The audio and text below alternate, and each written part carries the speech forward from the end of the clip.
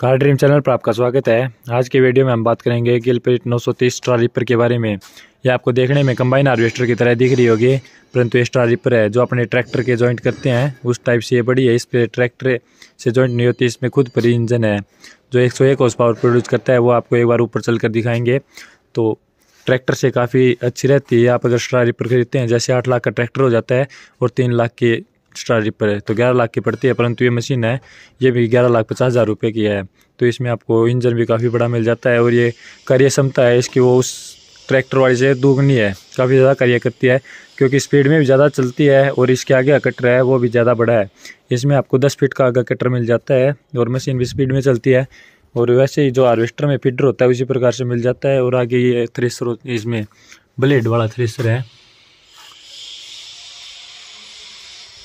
ये काफ़ी अच्छा कार्य करती है, काफ़ी अच्छी ये जो भूसा है वो बनाती है और कार्य भी बहुत जल्दी करती है। तो इसमें आपको क्या क्या मिलता है और कैसा इसमें स्पेयर पार्ट मिल देंगे, इन सभी की जानकारी आज की वीडियो में देंगे। तो वीडियो को लाइक कर दें और ज़्यादा से ज़्यादा शेयर करें। तो इनके पार्ट आपको आसानी से मिल जाएँगे क्योंकि सापटे और ये इस पर बैरिंग है, ये आपको हार्वेस्टर वाले जो होते हैं उसी पर आराम से मिल जाएँगे। और एक बार हार्वेस्टर का आपको लुक दिखा देते हैं चारों तरफ़ से, उसके बाद इसके एक एक पार्ट के बारे में बात करेंगे।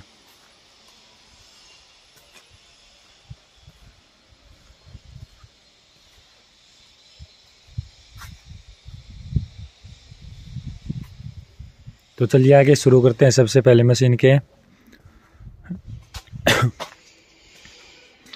तो जैसे कि आगे फीडर के बारे में बात हो गई, और यहाँ पर आपको काफ़ी अच्छी लाइटें मिल जाती हैं, और आगे गिल पेट नौ का लोगो, बैंडिंग मिल जाती है, और यहाँ पर हॉर्न मिल जाता है, ऊपर लाइटें और मिल जाती हैं। तो पूरी छः लाइटें मिल जाती हैं आपको आगे, ये साइड इंडिकेटर। और इसमें आपको ये हम आर एफ़ के सोलह नौ अट्ठाईस के टायर मिलते हैं, काफ़ी अच्छे, जिनको हम मान सकते हैं।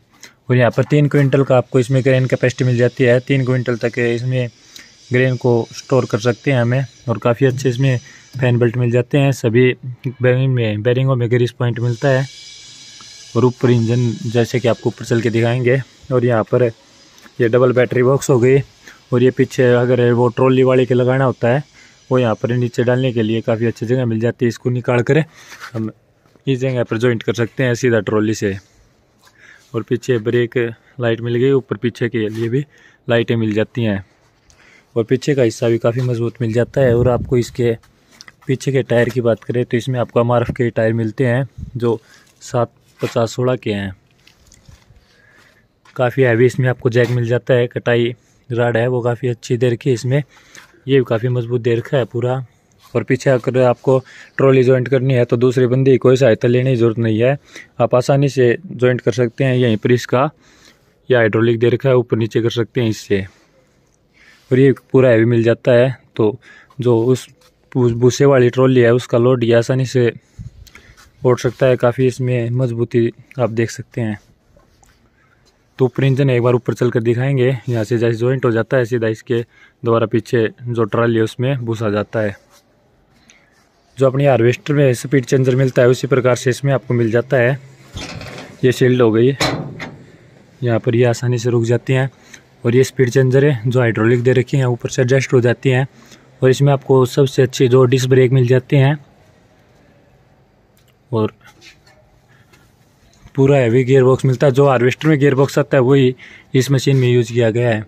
और सभी पुड़ियाँ वो कंपनी खुद की यहाँ पर देख सकते हैं, आप गिलप्रीत की बैंडिंग मिल जाती है। और छः और आठ नंबर की इसमें बैरिंग मिल जाते हैं आपको। एक बार ऊपर चल कर दिखा देते हैं। जैसे कि यहाँ से ऊपर जाना काफ़ी आसान है। मशीन की ज़्यादा ऊंचाई भी नहीं है। पीछे आसानी से देख सकते हैं हमें। जब जो पीछे ट्रैक्टर जो डंपर होगा वो भर जाएगा, तभी पता चल जाएगा आसानी से। तो सीट को भी एडजस्ट कर सकते हैं हम यहाँ से। अपने ड्राइवर अपनी इच्छा अनुसार यहाँ से इनको ऑपरेट कर सकते हैं और ये फ्यूल टैंक मिल जाता है, काफ़ी बड़ा है। वहाँ से लेकर यहाँ तक पूरा है। बार बार आपको ये भरवाना ही पड़ेगा ताकि आसानी से टाइम वेस्ट न जाए ज़्यादा। और ये ब्रेक हो गया, और ये कल्स हो गया साइड और एडजस्टेबल स्टेयरिंग मिल जाता है, ये टूल बॉक्स मिल जाता है।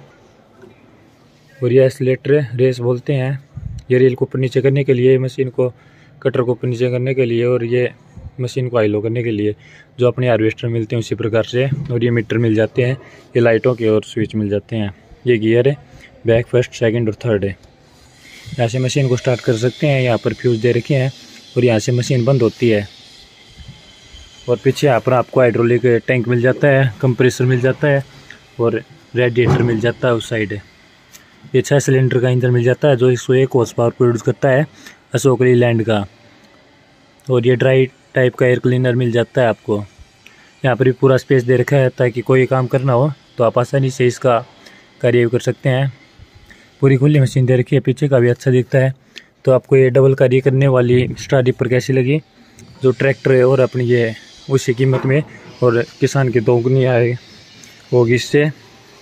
तो आपको वीडियो कैसी लगी? ऐसी नई नई मशीनों की जानकारी पाने के लिए अपने चैनल को सब्सक्राइब कर लें, ताकि जब भी कोई नई मशीन आती है, उसकी जानकारी आपको मिल सके।